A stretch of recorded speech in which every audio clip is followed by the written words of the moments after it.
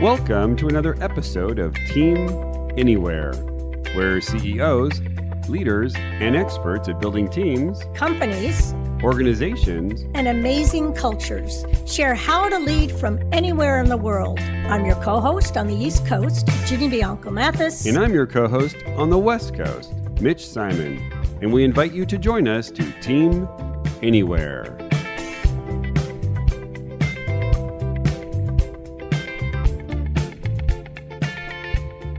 Trying to figure out how to create strategy in this new world of uncertainty?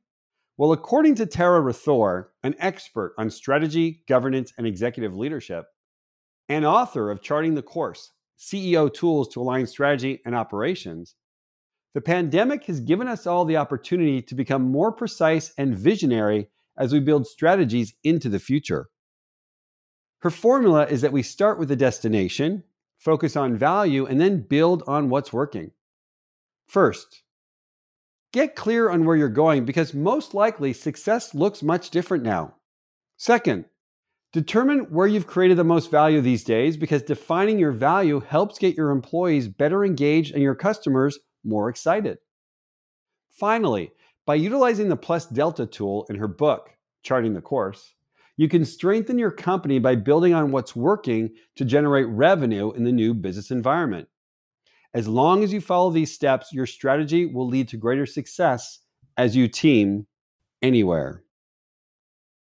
Welcome to another episode of Team Anywhere. I'm your host, Ginny Bianco Mathis on the East Coast, and I am here with my wonderful co host, Simon, on the West Coast.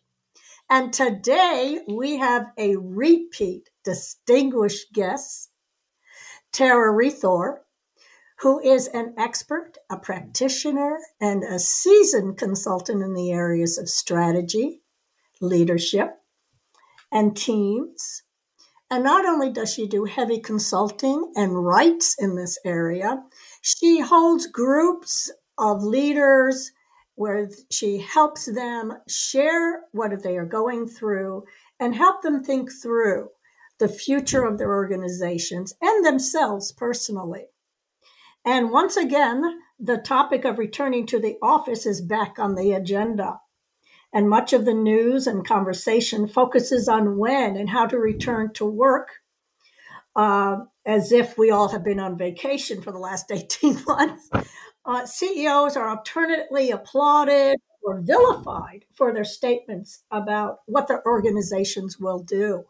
So, first of all, Tara, welcome. Thank you, Jenny. Hey, Mitch. Nice to see you or hear you guys today. It's really exciting to be back. I appreciate the invite. Oh, it is so good to be interacting with you again. So, what are you hearing, Tara, this week? Well, I think, you know, what's interesting, Jenny, is that the most of the conversations about returning to the office reduce this whole thing to a binary question are we in the office or are we out of the office? And that seems to be the question. But then they add in hybrid, and that's sort of intended, I think, to bridge the two options. And they don't necessarily explain explicitly what that means. Like, how do they define it? And then all this conversation ensues.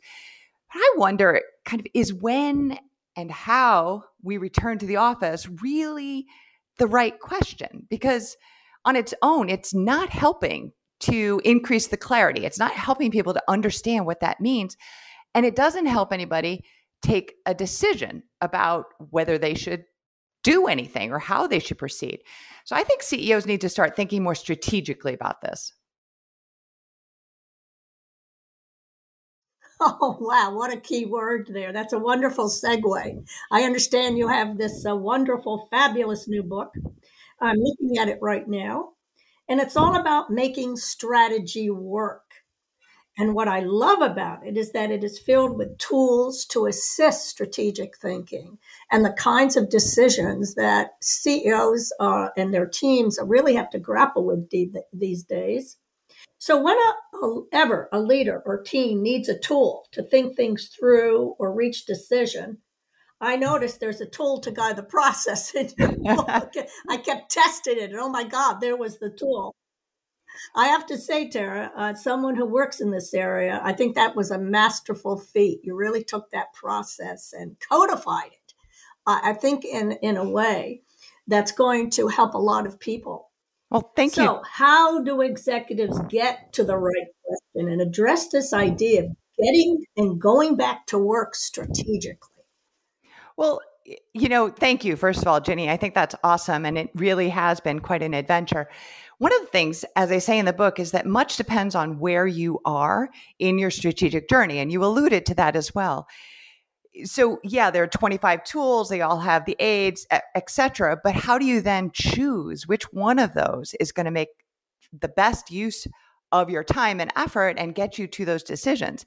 And so, then for this particular challenge, you have to kind of step back and say, all right, there are three things I think you need to do that I would recommend. One is start with the destination to focus on value and then build on what's working. I think those are the three things that are most likely wow. to take you forward. very powerful. Yes, exactly, exactly. Take you forward. Very powerful technique. So let's let's uh, divide those up and look at them a little more closely. So let's start with the destination. What do we do with that? Well, before you can consider how or when, you got to start with why, right? What what end? To what end? It's a question I ask all the time with my clients and all the executives. It's like, to what end? What purpose? Why are we doing this? What's the rationale? That's your destination. So if you're starting with your destination, you have to be able to answer the question, to what end? To what end are we returning to the office? What is it that we're trying to achieve? So it's also your vision right? It's it's the thing that you're trying to do and in the last 18 months, your world has fundamentally shifted. It doesn't seem to matter what business you are in, where you're located, how you work in the past versus how you're working now. Your world has shifted. And so what what are you trying to achieve and then how has that impacted you? So I think at that point I'd take a look at your external landscape, right? Let's go look at what the business context is. Find a framework and there is a framework to really understand what the new business context is. We need to kind of let go of the old, right? That tool then helps you impact assess the impact of what the changes in your landscape have done to your business or what they might mean for you going forward. What impact has that had on your vision, the destination, what you're trying to achieve, the why? So, what's changed?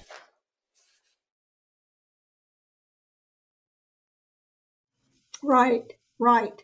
And and obviously or not so obviously to some teams doing that extend uh, extend oh sorry external landscape questioning um, is paramount so they can step all the way back and uh, not deal with assumptions but really look at some hard concrete questions that are going to make them take their their own tunnel version uh, off. Um, and I know from being another tool lady that such tools facilitate the right conversation. So, as you said, what really has changed? Um, so let's move on to the. I want to. I want to ask a question. Um, yeah. So Tara, um, we, as a as a CEO, hold on one sec.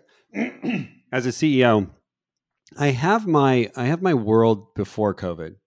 We all came to the office, we all had our butts in our chairs, you know, 8, 10, 12 hours a day, and I was very happy. And now COVID happened and and it's hard for me to vision something different than what I experienced. So how can I how can I given, you know, given now this new, you know, the new technologies that are out there, how can I create or do you have any tools that are going to help me create a vision of what I want the new world to look like? Sure. I mean, there are tools obviously in the book that you can use. However, I think what's most important is to do exactly what you've just said, Mitch, and that's kind of step out of what your current thinking is. And one of the reasons why I start with a destination and B external landscape is that we're trying to figure out what other things are looking like. Like get out of wherever our current office situation is, right? Get out of our current world and start expanding that thinking. And a vision board, for example, is a wonderful way of just thinking beyond the moment, thinking about beyond what this looks like. And I think sometimes that may mean that your vision needs to change completely. Sometimes you say, you know what, we still want to get there, but everything else around it may be different, or getting there is defined differently. So success may still look a little differently. So you have to kind of ask that question again around what does success look like? So visioning, yes, you can go back and look at it, but the more important piece is that it's not just the words on the page that describe your vision. It's really understanding what it means. I had a CEO do that recently. He really had to step back and say, okay, yeah, we want growth, but gosh, that's not helpful. I need to understand and be more explicit about what do I mean by that? How do we know if we're there? And he really went back to the drawing board in many respects. And if you do a visioning board, you're literally on a drawing, drawing board. He really had to stop and think about it again and say, okay, hang on. What are we thinking about? And what does that look like? And started over. And he didn't change his vision in the end. He started talking about it in a different way so that it had more meaning for the folks in his organization. So it may not be that you've got the wrong destination. It may just be that you need to really place it into a different context so that people get what it means. Can Can you give us some examples of um, of things that you and and the CEO were creating that are that will give our audience more of an understanding of what to look for? Sure. Some questions around what's changed, what's different versus last year. Um, what do we like about what we're doing, right? In this world, it's not just about place as well. So things like what is the most, what are the relationships that we need to be effective in achieving our objective? People don't often think about the relationships. They think about um, how they do business. They think about who they're talking to in the hall or on the phone. It's really about how are you creating those relationships and then thinking through do we have the relationships we need right now for where we're headed, or do we need to be adjusting that? Are we able to nurture those relationships? What outcomes do we need? What what's the most important outcome we need that we know will help us drive towards success? If we can identify that then again you can start thinking through a little differently around the how and the where with respect to the big question we've talked about. Do we how do we return to the office? Does it really matter? So I, those are the questions that we started looking at in addition to the big one that i mentioned earlier which was what does success look like and we started big and started dri- driving down. We need X number of new customers. We need more percent, a higher percentage of new versus returning customers. They were way too dependent on their current customer base, and their customer base their worlds have changed. So they needed to really rethink that piece as well. And they needed new partners. So they needed different relationships. And those are the steps that they're taking to move forward. And that has dictated how they handle their offices, their spaces, because they're also in different locations, right? So their situation, like so many people, is different depending on the specific facility you're talking about. It gets even more important if you've got a manufacturing or distribution type of business where people need to be together. So if you're doing a vision board, um, it's different from what might have been done previously. Um, I, lo- I like to say, I even say, uh, the vision statement is no longer valid. I like to say you need a vision scenario. Mm. It looks like this, it feels like this right? Yeah. I- it may have a number attached over here, and but it's the how, the why, and maybe that's the gift the pandemic has given us. It's forced us to look at the how and the why. Well, yeah, and it kind of goes back. So the how and the why are key pieces of the of the strategy, right? Because the strategy, in in my definition, and you and I, Jenny and and and Mitch have talked about this before the way I think of strategy is fairly simple. It's the set of decisions and actions you need to get you where you want to go. So that clearly involves how and why. You got to know the to what end. And the vision piece of that is, of course, the destination, the to what end, the why, but it's also got to be compelling. It's got to be something that people can picture in their minds. It's one of the reasons mm. why I like that vision board because it does bring in visuals, but it doesn't have to be all pictures or images. What you suggested and what you were saying, Jenny, is that it needs to be bigger than just a statement. It's not a set of words.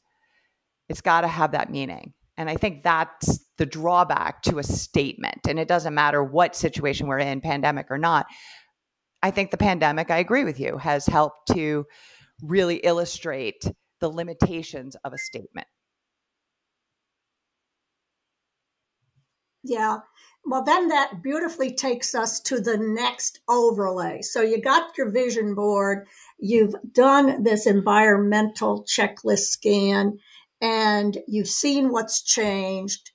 You have some more parameters around what you want this vision to be, but to a point you just made, to bring it alive, you need to add your second element, which I believe you said was value. Yeah. Could you speak to that? Absolutely. Eh, whatever business you're in, whatever sector you serve, your business to business, your business to cons- consumer, business to government, whatever work you do, you've got to deliver value. If you don't add value, you're out of business, period it's common. It's also fundamental and foundational, right? So it doesn't depend, that challenge there doesn't depend on where people physically sit at all. Certainly, at least in my experience, and I've written a few articles about this, customer service, right? People's patience with the blame COVID rationale is wearing quite thin, right? So it doesn't mean COVID yeah. no longer a yeah. challenge. It's just, okay, we've had 18 minutes, 18 months at least to adapt and figure out how to manage that challenge. Let's get with it, people. Um, really important in your front office, and your front office looks different depending on what sector you're serving, right? So there are two questions. What value do you add for your customers, right? And how you deliver that value. And then how well have you delivered on that value, particularly over the last 18 months?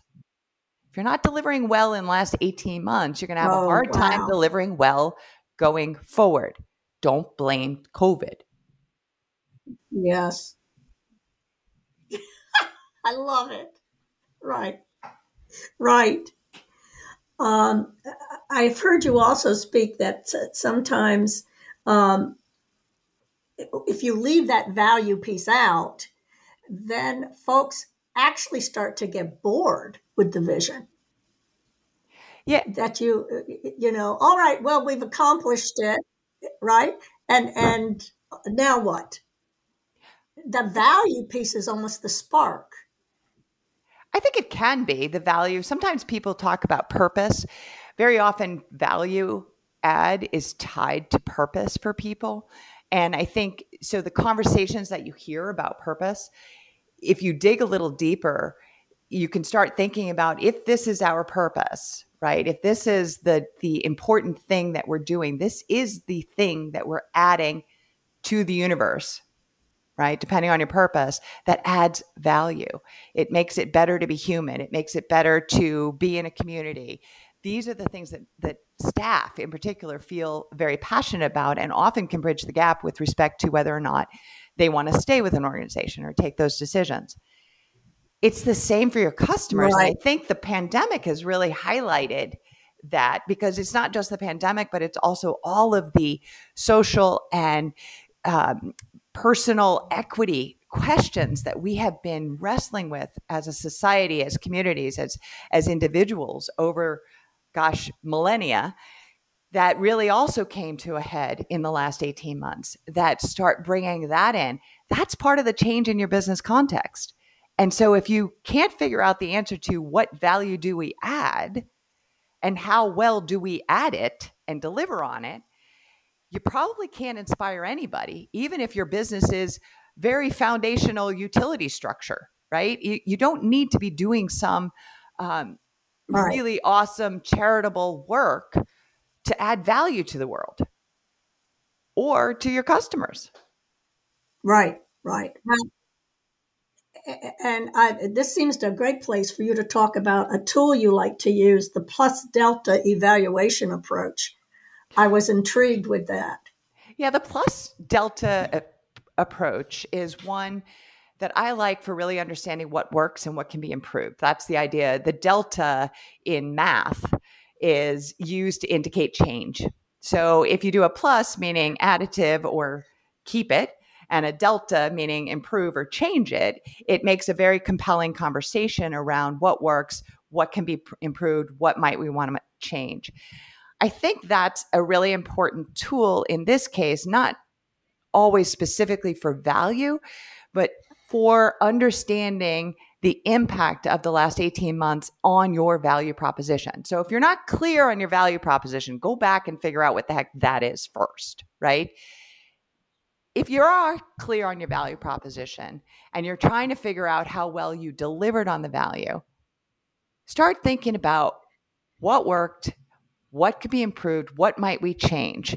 And I think you start coming to a it's a very positive and forward thinking kind of approach because we've learned a lot in the last 18 months, really a lot. And it gives you the chance to think about that, right? And figure out which of the things that happened in the last 18 months that we used and adapted to make things better or just to survive the pandemic, right? Which is a valid outcome, right? Just weathering this storm. Which of those things really worked well? Because that's a new source of value for you. And it may be purely internal value for your staff, but there's plenty of research out there. You've probably done some yourself, Jenny, that talks about the fact that happy and cl- uh, customer or staff, happy staff, contented staff, staff that believe in what you're trying to do make for very very good customer ambassadors no matter what business you're in. This I did that or that exercise with a different CEO in a different organization because they adapted to the pandemic in a way that the CEO did not expect to. They're a technology company, so really where they sit in terms of their business is less important. They're not a meat packing plant. They are not healthcare. You know, they don't have to be on the ground floor with their customers, right? And they don't even have to be always together with each other for everything. However, this CEO loves the in person, really struggled even with the fact that he had multiple offices and he'd make the rounds, did a lot of trying to encourage FaceTime, really participate. And that's where his head was. And he started looking at what's working. He had changed a good number of his behaviors. And we actually had a conversation around okay, let's talk about your leadership and what's changed in your leadership. So it wasn't even just a meta conversation for the company. It was in in the work that you've done and how you CEO deliver value. What are you doing differently to make that work and how well is it being received? And we did a had a conversation around a plus delta that said these are the things that are working well. These are the things I could improve. And at the end of the day, his company will be virtual forever. Forever. They've just, and that fundamental 180 degree shift for this particular CEO personally, just completely different approach for him. Right, right. Yeah, you also shared with me in the past, uh, I think, a lovely example with a museum. Oh, yeah. Those guys, they did a fabulous job and talk about thinking on your feet and being nimble. So they're a museum. They have indoor and outdoor exhibits, um, but their exhibits, curation, their the opportunity to be there, the exploration, all of that's their value proposition. It's not necessarily different than other museum types of venues, But everything they did relied on in person work, in person interaction. And they they had to like they they were shut down like so many others. And yet it was the peak season for them because they're they have a lot of things that happen beginning in April every year and go all the way through to about October. That's like this most vibrant time for this particular museum and their outdoor gardens and their venues and all their programs. So they were like, "Oh, oh my goodness, we're out of business if we don't do something."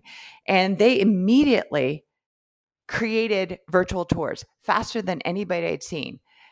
Really created them. Lots of other people did that. They did it fast. And it also is not the same. And initially, it wasn't helping their bottom line, it was free, right?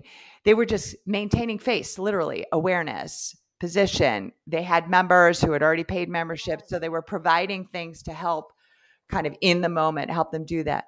The CEO, though, took them through a systemic process to really understand, you know, okay, good, we're all up and running, we're virtual, we're keeping people happy to some extent, we're getting the word out, we're doing the things to sort of maintain the base we've got. She said, what do we do to get new people? What do we do if this thing goes on for a long time and there are renewals? We need to have new. We need to have other we need to have more. So she took them through a very, very systemic process, including a plus delta and other aspects to really rethink value. What's their value proposition? What does it really mean? And how might they shape that and frame it? Like t- talk to their customers, like share with their members. Here's the value that we add in a very different way you know this is what's so exciting about it this is what you yeah, learn yeah. from going through this this way and that let them preserve their revenue model and that was really important to them because they're highly dependent on members gate revenue people coming in and sponsorships. Mm-hmm. so uh, you do things differently and you and you try to come up with how to use some new tools uh, in this virtual or hybrid. And you still, the, a major part of the equation is still the bottom line. Well, well, if you can't, and, you know, and, uh, it sounds like this, you know, yeah. The CEO really got it, right? right? Because well, at the end of the day, always, yeah. Basically, the CEO has been so. It's,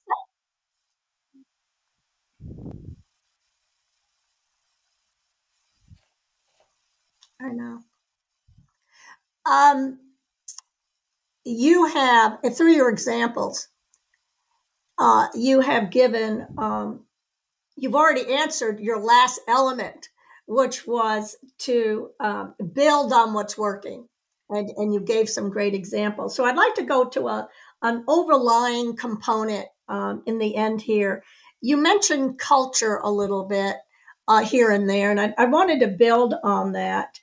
Um, what do you have to share about that? And I would expect there's a tool for that also. Oh, of course. There's a tool for everything. That's the beauty of it, as you said earlier. Um, yeah, culture. There's been lots of talk about culture as the reason for returning to the office. You hear that, for example, from Goldman Sachs or Amazon. We are an in office culture. First of all, it's unclear what that really means right? But secondly, it's not helpful, mm-hmm. right? Generally speaking, when you're in crisis, pandemic or not, when you're in crisis, the elements of your culture that are really helpful become really obvious, as do the elements of your culture that are really not helpful, right? So it's really important to understand what that looks like. And the key thing is that, you know, culture cannot be dictated. It is, however, something that CEOs, executives shape simply by the way they behave and the decisions that they take, right? The most important thing to remember, though, about culture, in, in my opinion, is that the culture you have may not be the culture you need. So, Goldman, Amazon, anybody else who says we are an in office culture, that's not helpful in an out of office world. So, that's not necessarily the culture they need. Whether or not it's good, not relevant. Just not relevant.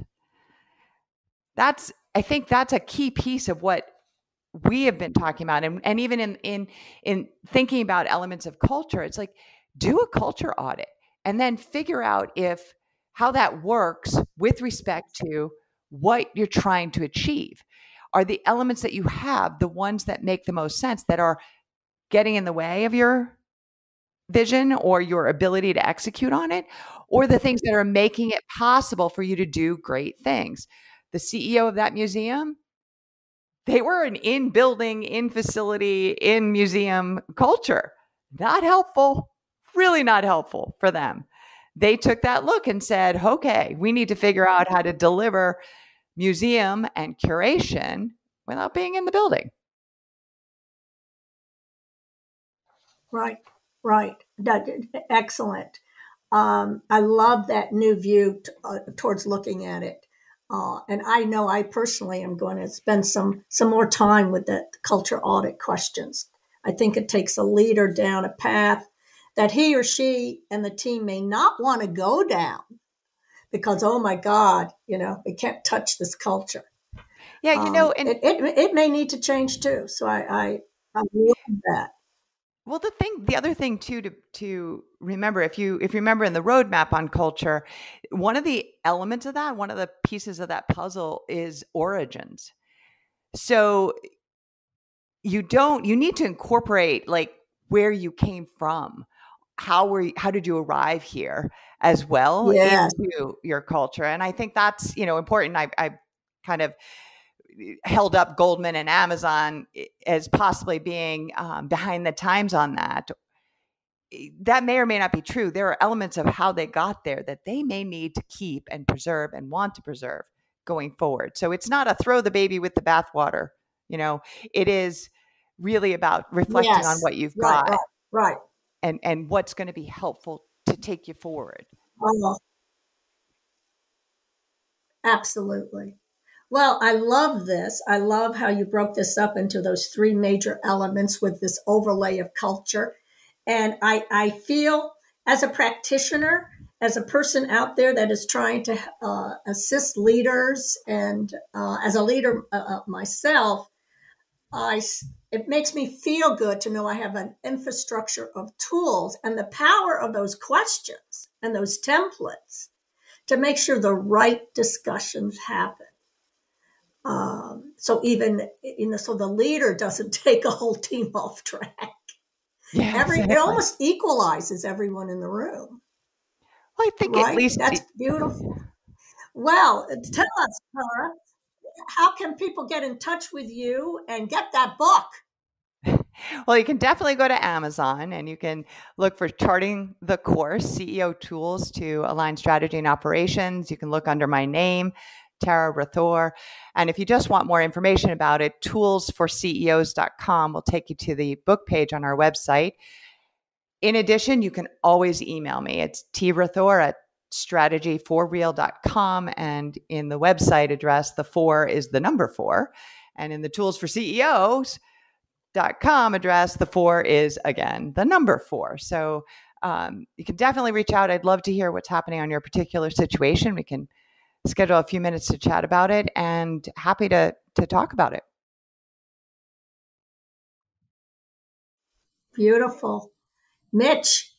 Yeah, I'm looking at toolsforceos.com, which is just a great place to go to get all of these tools.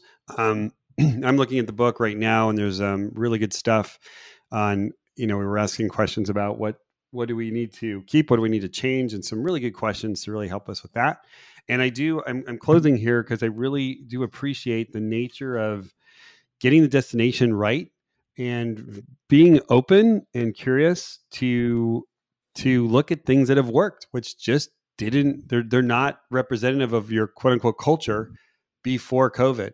And I do think that as we're we're trying to define the new destination, we really have to be open to um, what's changed. And I, and I do think that for us who do plan strategy, we have to appreciate um, this change, even though we don't like it. You know. Well, and one last point: the questions and the templates force the folks that are having this discussion. It forces them to go beyond. Well, here's what we did before COVID. Yeah. Which I I found that's the first place they like to go. Yeah. So these are powerful. Great. Well, thank you. Thank you, Tara. And thank you, Ginny. And thank you to our wonderful audience, our listeners.